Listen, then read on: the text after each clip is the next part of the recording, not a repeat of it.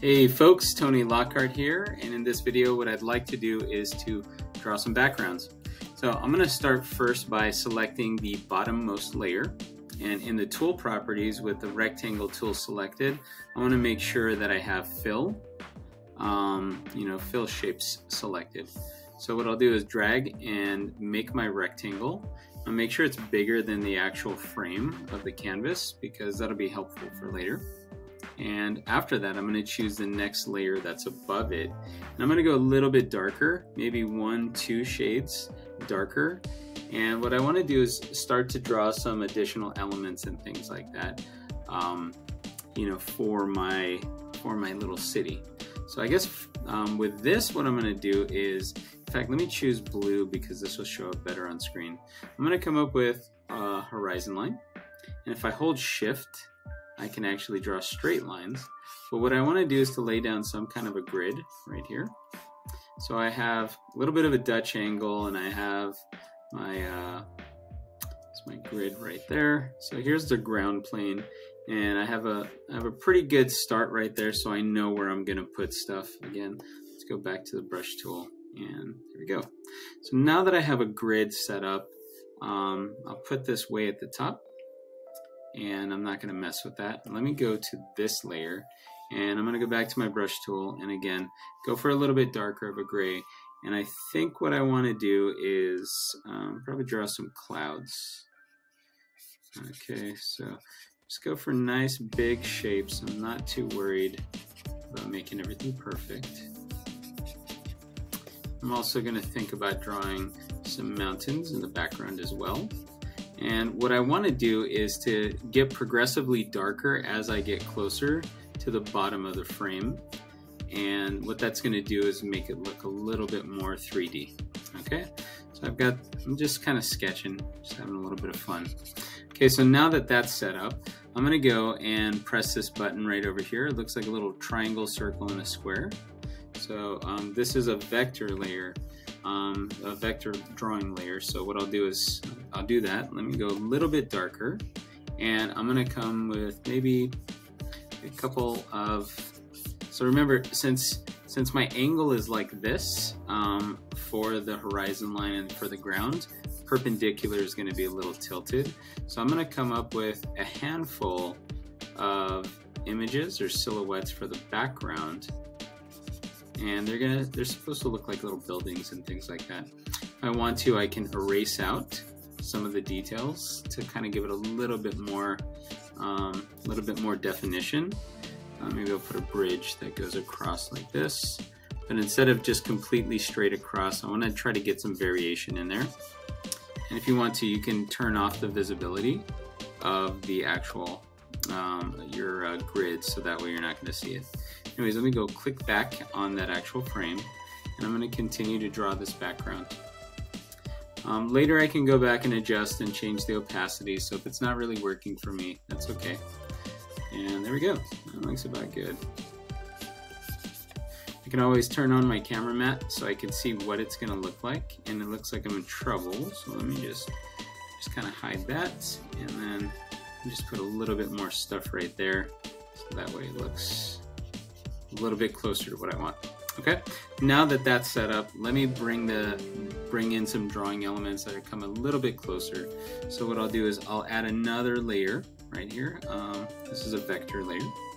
And I'm gonna go a little bit darker this time. So let's go for about like a 70% gray. And now what I'm gonna do is let's come up with another foreground element. And again, I'm thinking about that angle, I'm thinking about okay, how can I get some good silhouettes? How can I think about drawing in stuff that is going to work with the, with the uh, pieces of art that I put behind everything else in the background as well. Okay, I'm going to put in some kind of a bridge right there. And um, I don't know, a couple of other things right there.